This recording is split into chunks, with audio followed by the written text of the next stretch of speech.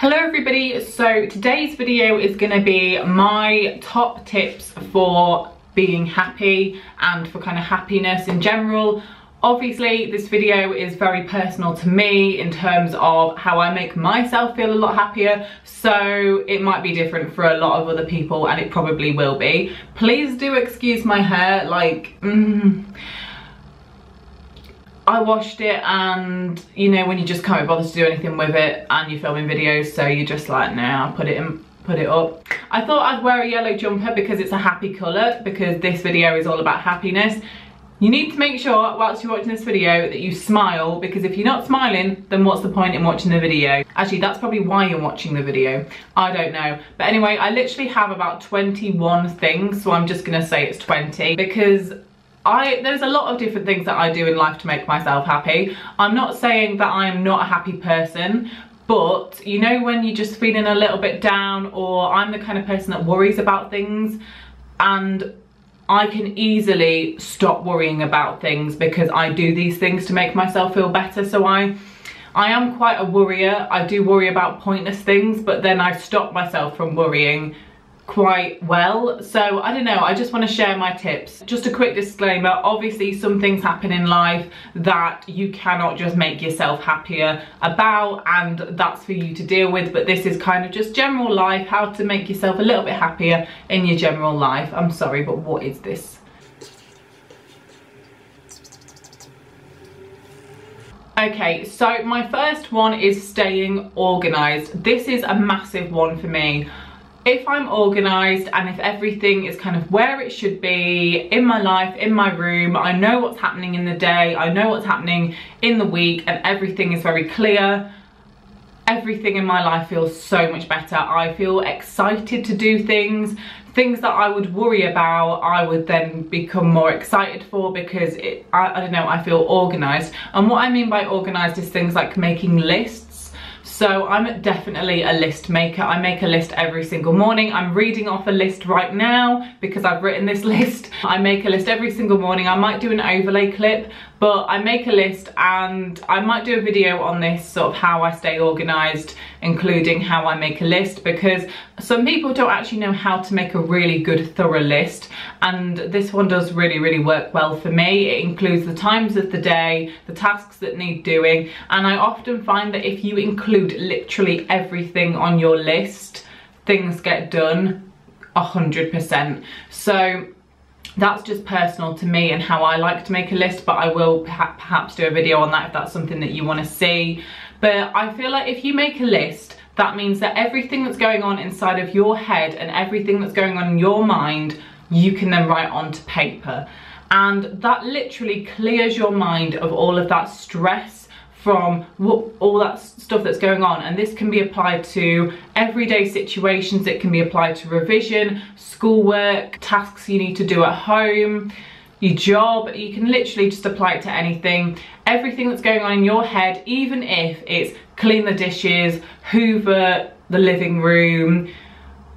Oh my God, sorry. Um, I just have to stop there. So I just looked at this book and I just thought that looks quite creepy. So I'm just gonna turn that over. Um, yeah, even if it's just hoovering the living room, cleaning the dishes, mowing the lawn, whatever it is, if you haven't written those tasks down, they're up in your head and your head is having to work five times as hard to try and remember those tasks and you don't know what order it's in and you're just trying to think blah blah blah blah and it just gets you know it causes stress and if you just write it down it's there in front of you.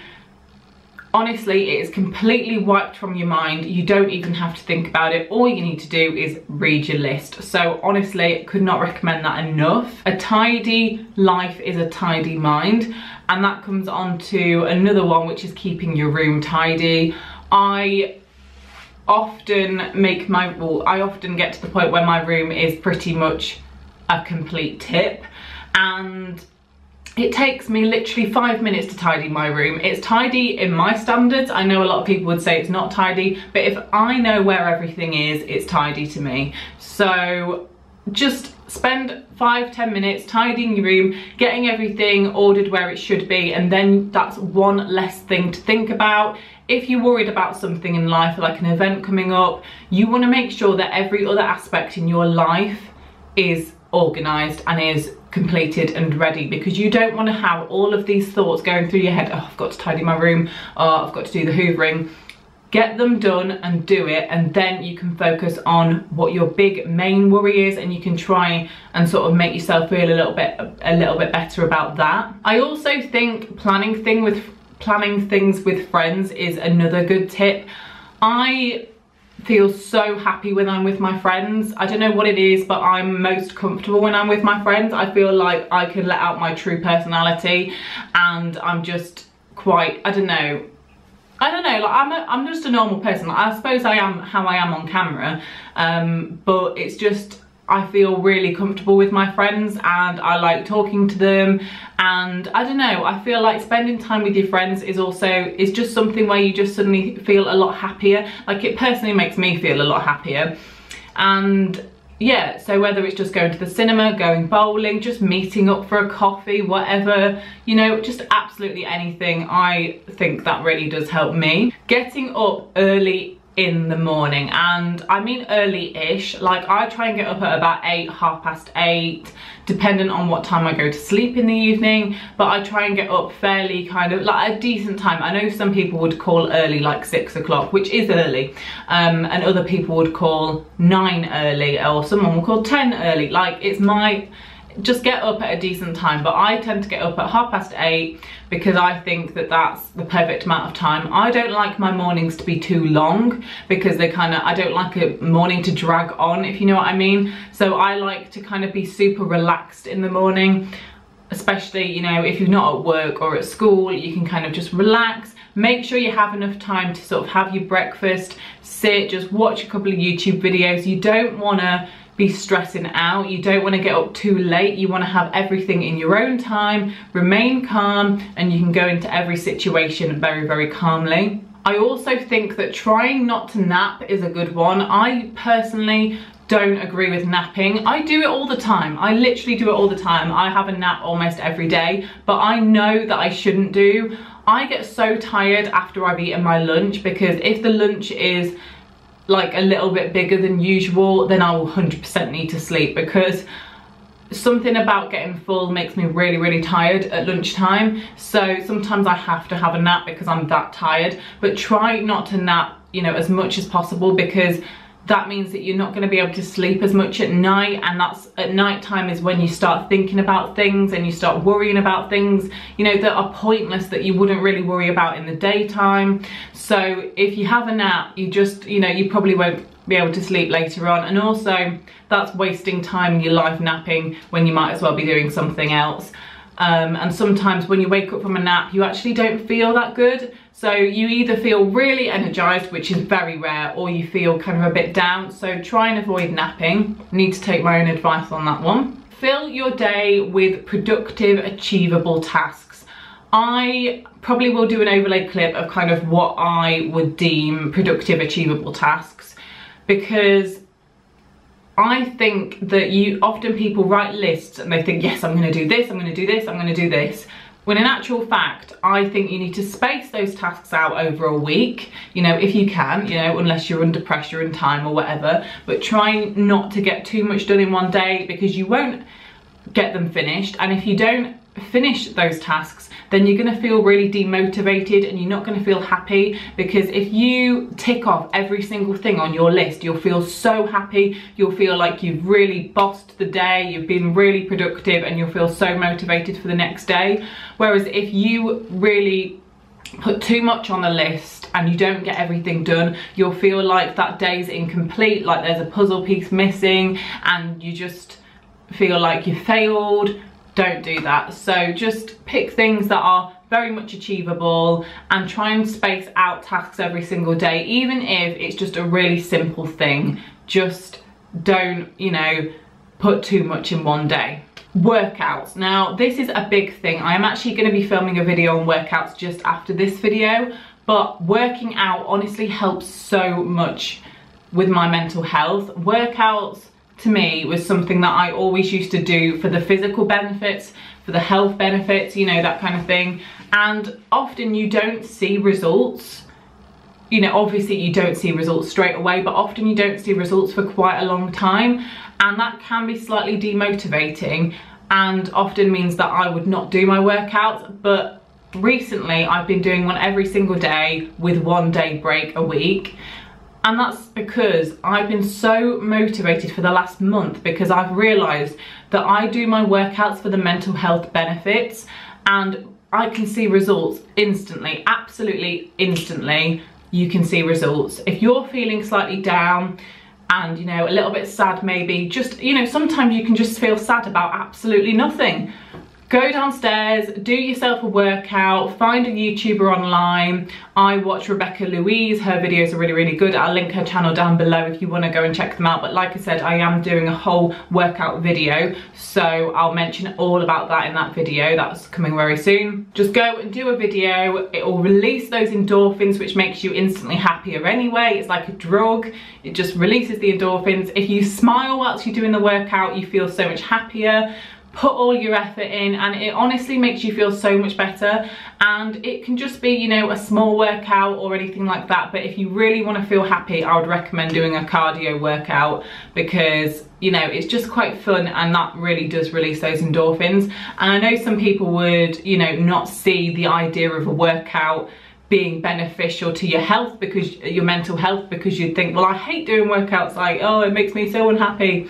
But actually when you start doing them you know for a while you start to realize that actually it has a massive impact on your mental health instantly. And also when you do start to notice changes in your body and also you know you're getting a little bit more musclier then you start to feel so much better and you just feel healthier and overall you just feel so much happier literally I couldn't recommend workouts enough please please please give them a go if you ever feel sad just do a couple of weeks worth of a workout every day and it really will boost the way that you feel. Sort of tying onto that is eating healthier with the occasional treats.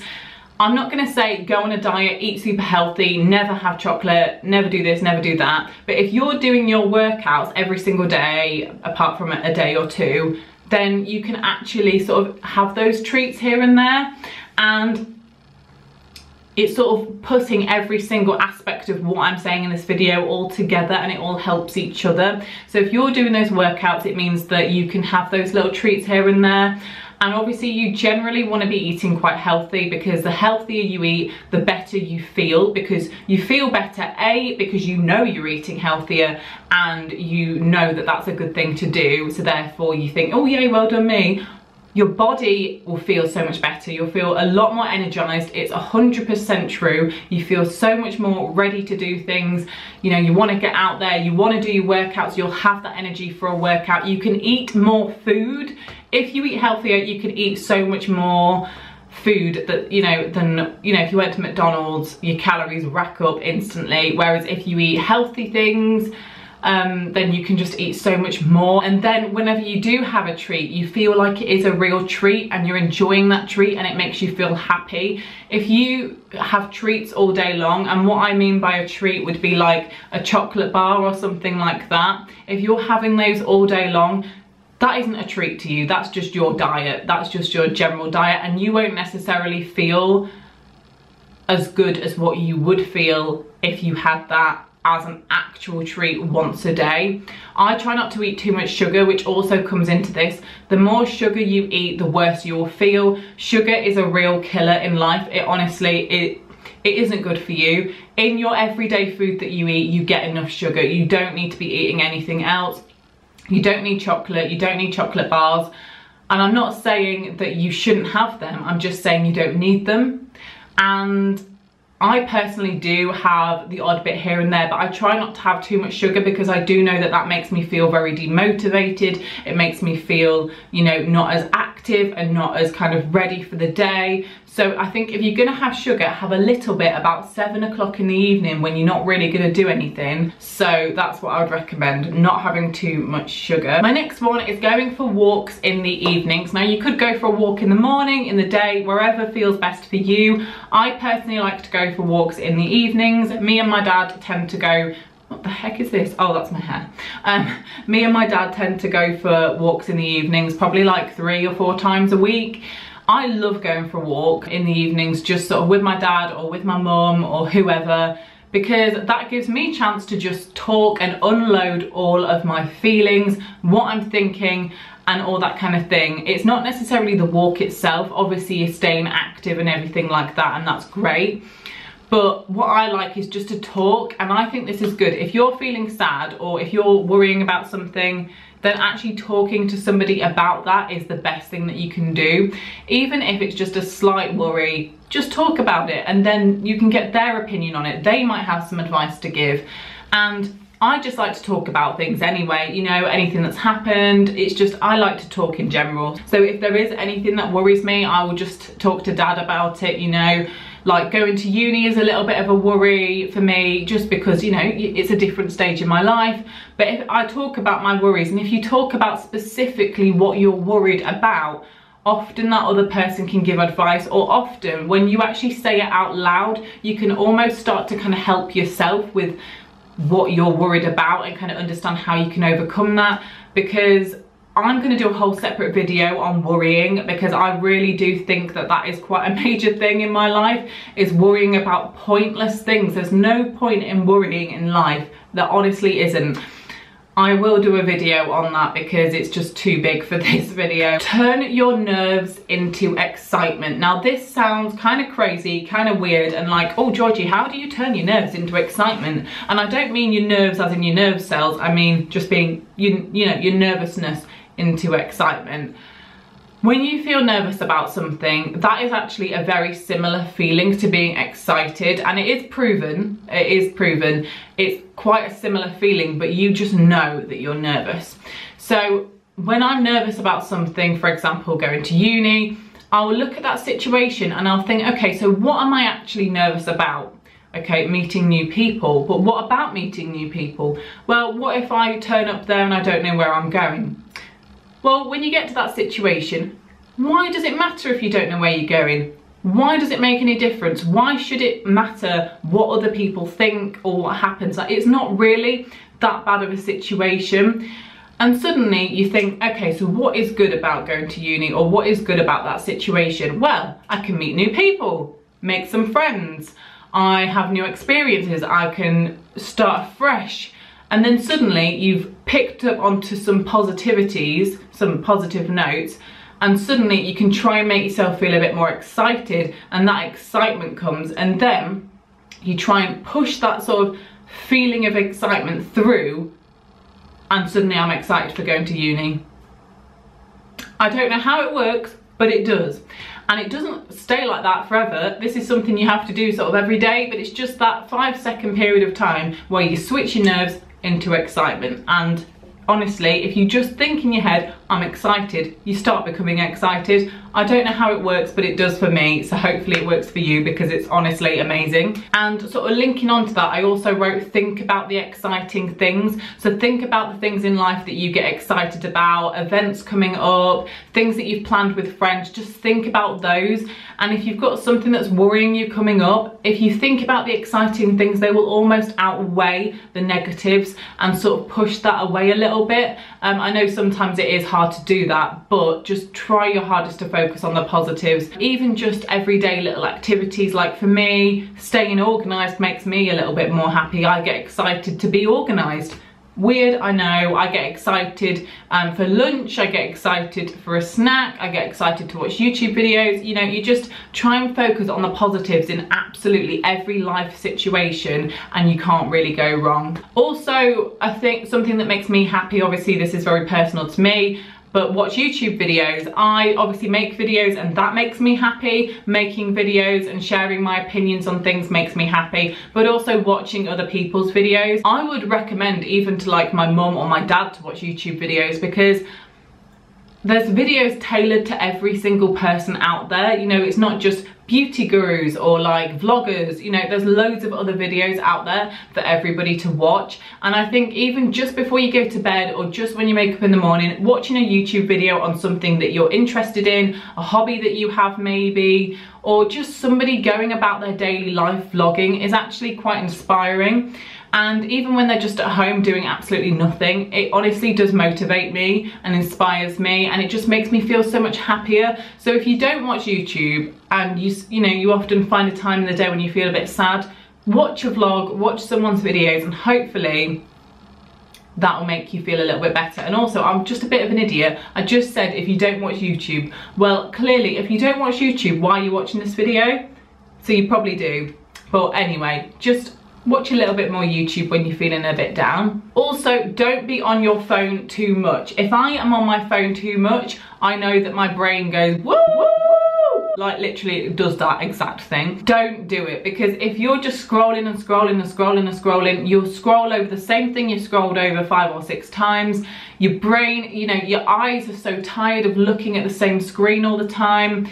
You're checking things that have already been checked you don't need to be doing that unless you are specifically talking to somebody but don't keep checking things that you've checked over and over again. Put your phone to the side, go off and do something else.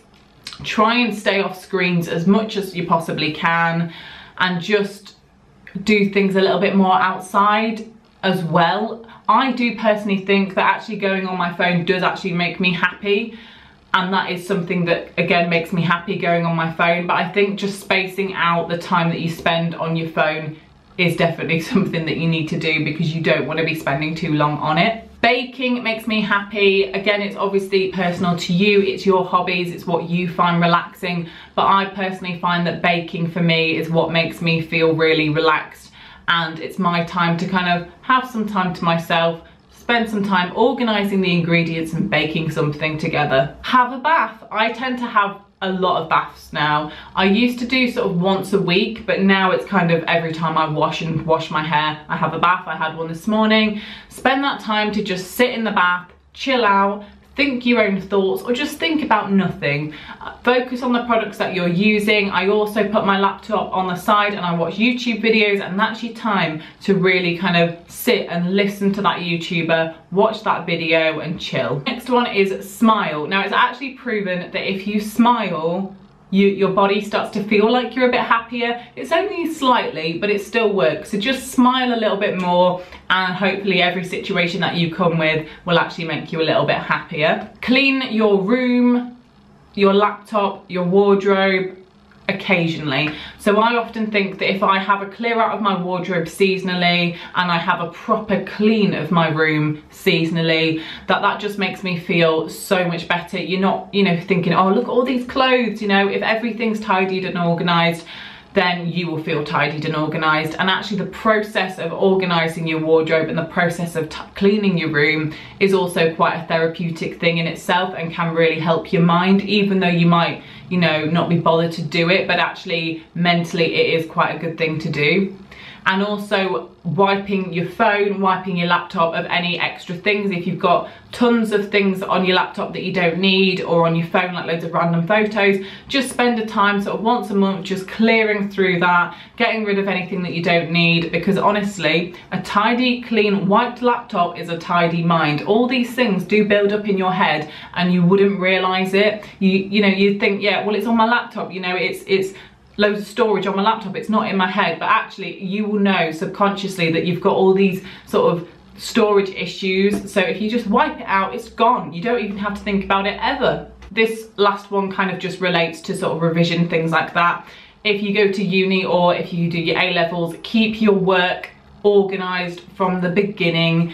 Don't let anything get to the last minute because you will honestly regret it if you keep on top of things, anything in life, just keep on top of it and you can't go wrong because you will just be remaining organized. And that's a massive thing because if you start to leave things to the last minute you start to get stressed you start to worry and it's just not great. So that's the end of this video. If you enjoyed it please give it a thumbs up. Please subscribe down below and i will see you in my next